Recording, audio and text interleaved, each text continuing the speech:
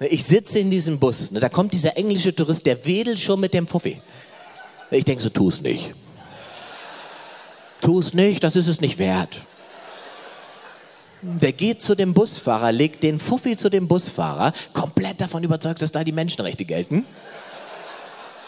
Und sagt laut im Bus in Berlin, Hello, I need a daily ride.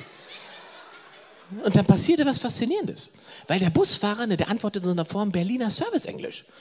Der sagte zu dem, wat, wat, wat, wat?